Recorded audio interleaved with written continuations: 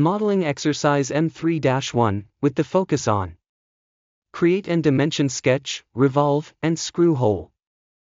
Create your first sketch and learn how to position and dimension them.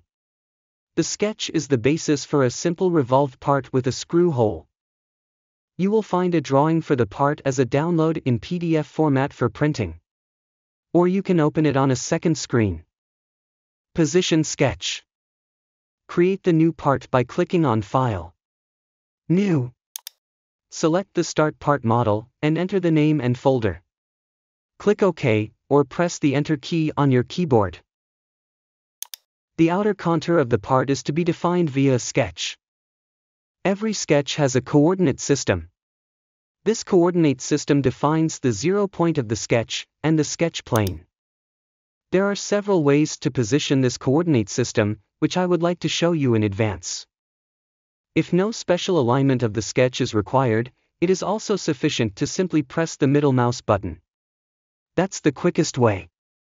The sketch plane will be in the absolute xy plane, and the sketch origin will be at the absolute origin. Or you choose one of the colored principal planes. The principal planes are also always at absolute zero.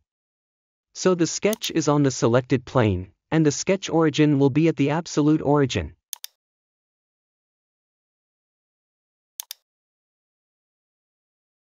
And it is also possible to select one of the planes from the datum coordinate system, which can be moved later. The coordinate system of the sketch is then connected to the datum coordinate system. I'll quickly create a rectangle to show it.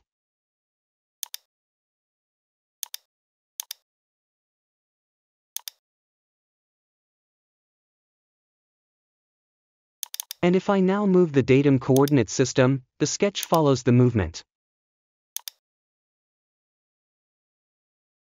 Back to the exercise. Because there are no special requirements for aligning the sketch, a click of the middle mouse button is sufficient. Create profile. NX starts its own user interface for the sketch. The horizontal sketch axis is shown as a red dotted line and the vertical sketch axis as a green dotted line.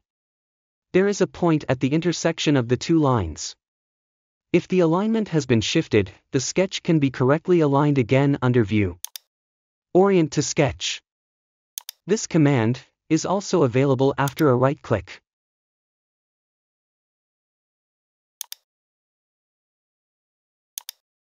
Start the Profiles command to sketch the outer contour.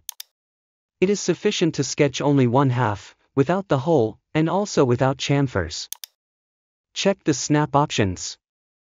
Activate only the options end point and existing point.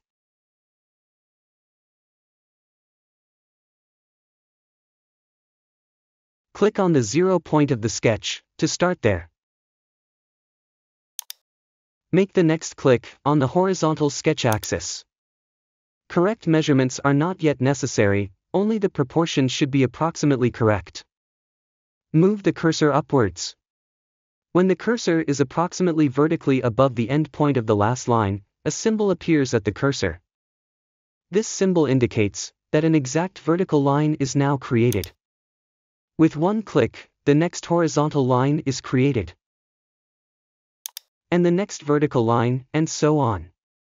The last click is again on the zero point of the sketch and the profile is closed. To close the command, you could click on the cross or press the escape key. But with the middle mouse button, it works even better. Once pressed, the command remains active and another profile could be created elsewhere. Pressed once more, the command is terminated.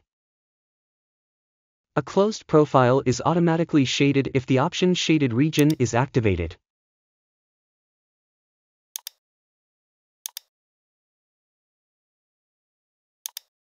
Dimension Sketch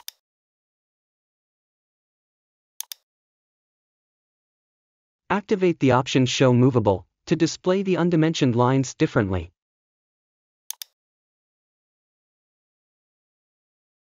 You don't need icons to dimension a sketch. Simply click on an object that you want to dimension. NX displays all measurements and constraints of the selected object. Select the measurement and overwrite the value. After pressing the Enter key, a message appears, asking if you want to scale the entire sketch. Confirm by pressing Yes. This way the proportions of the sketch are preserved. After clicking the middle mouse button, the dimension is confirmed, and you can create the next dimension.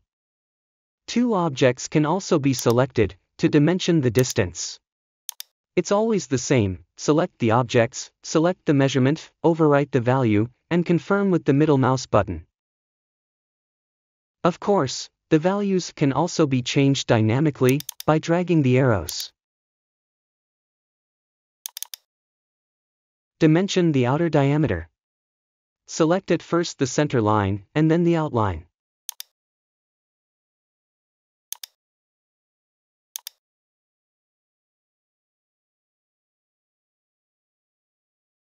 You can now enter either the radius or the diameter. To enter the diameter, right-click on the measurement and select Convert to half diameter.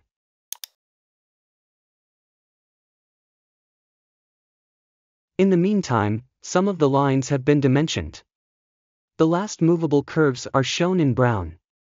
The status line counts three movable curves. The upper diameter is still missing. Again, select the center line first. Since the last dimension was created as a diameter, the next dimension is also created as a diameter. After right-clicking on the dimension, it could also be displayed as a distance again.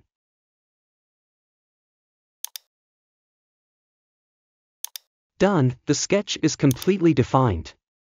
All curves are black and the status line shows, sketch is fully defined.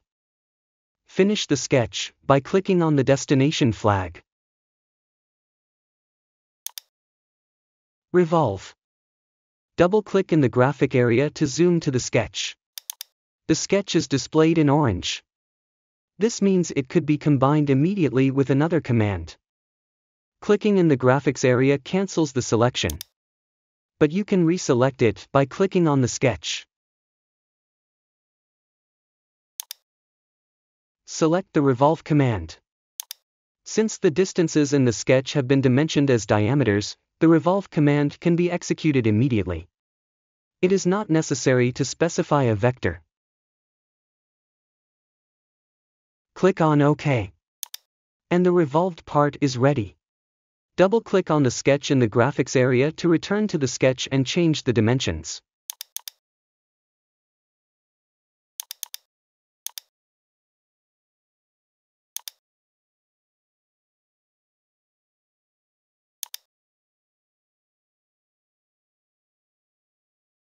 Screw hole, options. Next, the hole for the screw is created. Start the hole command and select the option counterbore. With the option custom, you can freely select the diameters. With the option screw clearance, the diameters are adapted to the selected screw sizes. Under standard, various norms are available. Select the standard ISO, then under screw type, the option socket head 4762, the current standard for Allen screws. And with the option fit, the desired tolerance class is selected. Select normal. A few more hints. The screw type, shoulder screw, 7379, produces holes for shoulder fit screws. And with cheese head 1207. Let me guess, that puts the holes to the cheese. Unfortunately not, the option is for slotted cheese head screws, but also suitable for hexagon socket screws, with flat head. Pan head, 7045, for cross recessed screws. And hex head 4016, 17, 18 for hexagon head screws. The countersunk diameter allows you to loosen the screw with a socket spanner. Place screw hole. Select the settings shown in the hole command.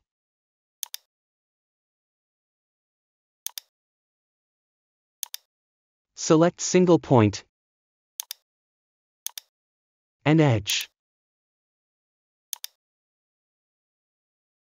Check that the Snap Option Arc Center is set under Snap Options. Select the upper edge of the revolved part. Clicking the middle mouse button is the same as clicking OK.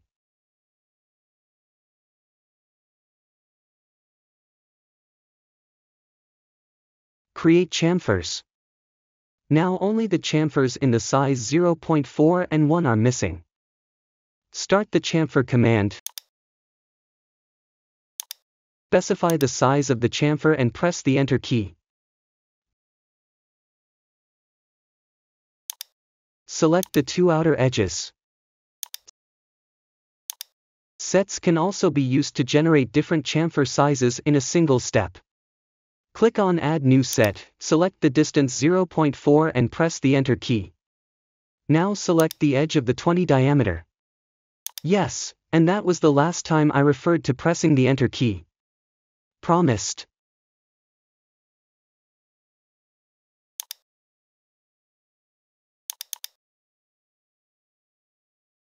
After double-clicking on one of the chamfers in the graphic area, a new value can be selected for each set, or edges can be deselect or selected. In the next video, a variant with a different name is created and the sketch is changed. At learnnx.com you will find this and other exercises. As a member, you can also access the site without advertising, along with practice materials and, if you wish, a certificate. I'm always open to ideas and suggestions write in the comments or directly to info at learnnx.com.